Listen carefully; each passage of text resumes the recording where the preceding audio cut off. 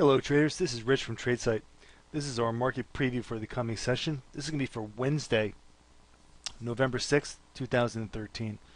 We kind of a mixed day today where we had uh, kind of weakness in the broad market with the uh, S&P and the Dow both being lower on the day. But we had a, we had a little bit of a bump up in the uh, in the Nasdaq futures. So all in all, kind of kind of just a flat flat day with uh, not a lot to show for it. Uh, I think the one thing to really uh, focus your attention on, though, is the uh, the market internals. Today, the uh, the market on the broad market side was lower, and we're on minus uh, about 1,100 issues on the New York Stock Exchange. The uh, Nasdaq market was up, um, you know, a couple of handles on the day, but the net issues were lower by 400 on the day. We also had a bearish trend today, and the VIX was higher on the day as well. and when you figure into that that the uh, total put call ratio was also down at uh, 0.63, uh, indicating kind of complacency in the market uh, at these higher levels. This is really internally not a very positive day at all, even though uh, the headline numbers were uh, were okay. So let's take a look at the the major futures contracts. Let's start with the the NQs today, since they were the the only winner on the day. All right, so uh, even though we're looking at the NQ futures, don't don't uh, misunderstand that or interpret that interpret that to the fact that uh, we at TradeSight are uh, biased to the uh, to the long side of the market. We're not at all. Uh, we'll trade what we'll trade whatever will produce us some some net gains. so let's just be clear about that.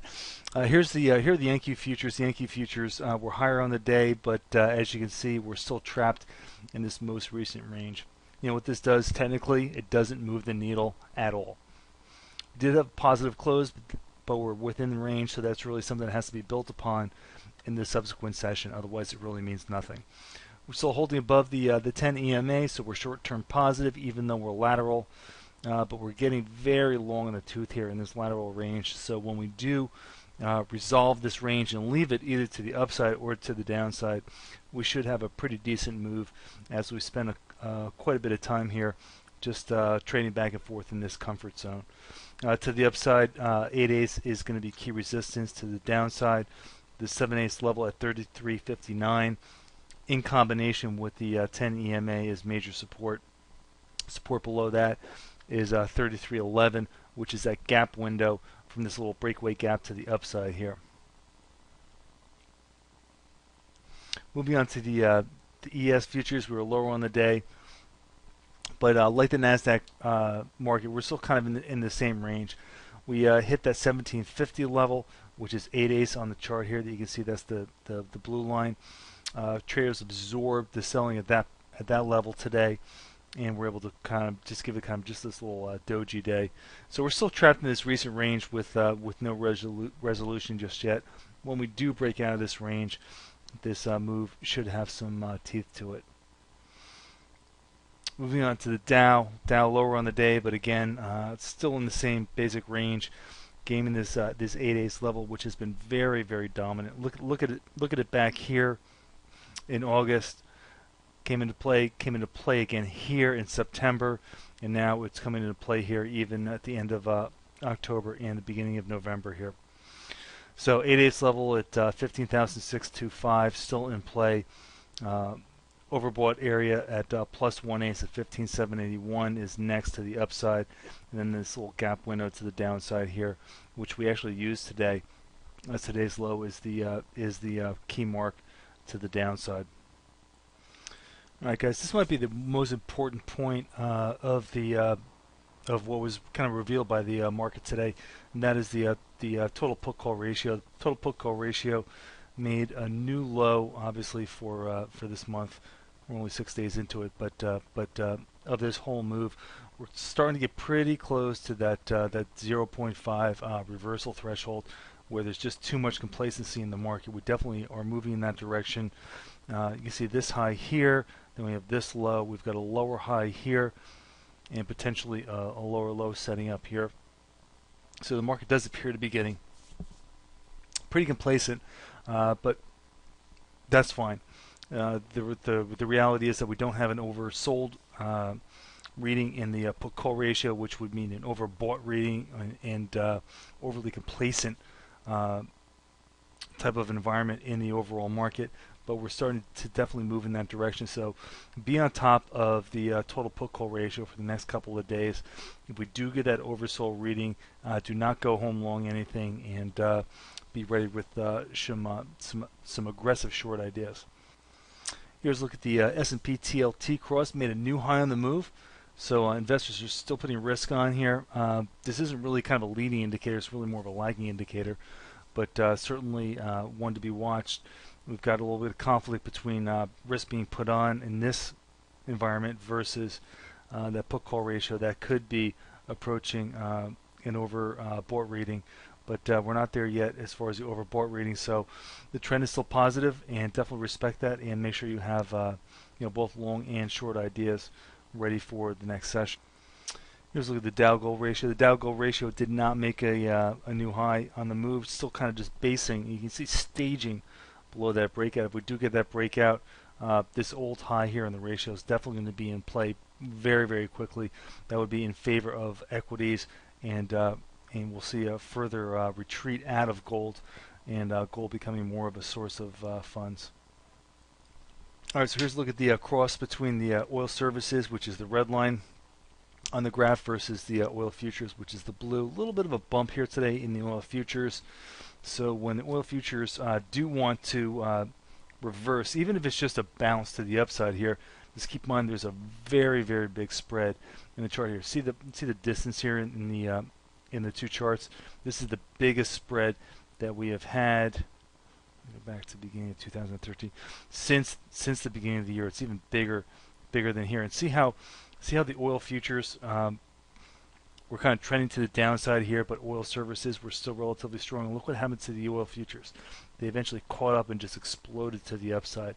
So, uh, though I'd love to love to see uh, $1.99 gas at the pumps, I am not uh, at this point uh, that in love with it and ready to uh, upgrade into a larger vehicle.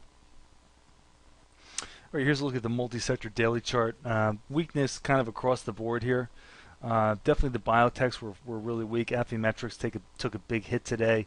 Uh, Amgen was weak. A lot of the a lot of the big biotechs were weak. Um, the banks were just kind of kind of middling here. They were really better than a lot of the other indexes. the GDX was weak on the day and you can see that the uh, the uh, SOX index was also uh, fairly weak. Potentially seeing some uh, rotation here out of this out of the uh, the biotechs into the actual SOX, which uh, which could be interesting. So we'll have to see how that plays out. Remember, we've got a kind of a double double top in place right now here in the in the SOX, which does remain negative for now. Here's a look at the semiconductor index. The SOX used the 500 level as support.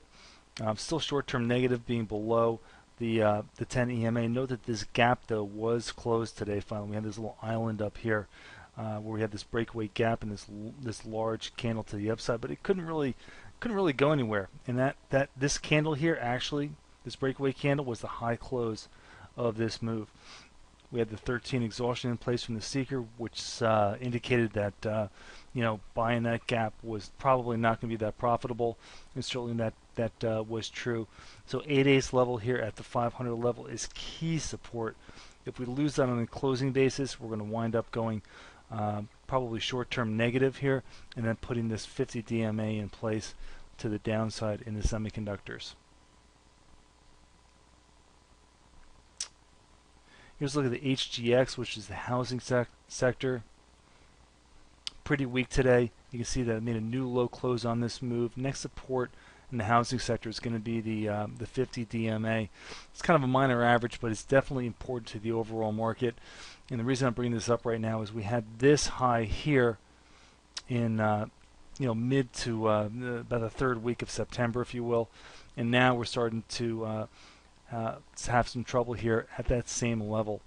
So we've got key support here at the 50. I'd like to set up a higher low here. We've got this low set up here earlier in August. Then we've got this area here in early October. Don't really want to see uh, this low revisited. That's really going to show a stagnation uh, in the overall economy. Here's the oil services. Still kind of inside here. You can see the triangle pattern here that's forming. We're still kind of in the midst of that. We're getting pretty close to the uh, to the apex of that pennant. So when we break out of this, this is definitely going to have some uh, some um, some good movement to it. And if we break out to the upside, you want to be all over this because this is the key uh, late cycle stock uh, uh, sector. Here's the BKX, still just kind of slugging sideways here. We're still short-term negative. Had key resistance here at 8 days at 65, 625.